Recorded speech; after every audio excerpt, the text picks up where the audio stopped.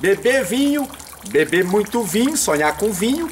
Beber vinho é muita saúde. Beber vinho com água é saúde fraca, tá? No sonho. E beber vinho turva, aquele vinho escuro, é riqueza. Então sonhar com vinho tem um lado bom e um lado é, negativo. Então preste atenção, tá aí dado a dica para você.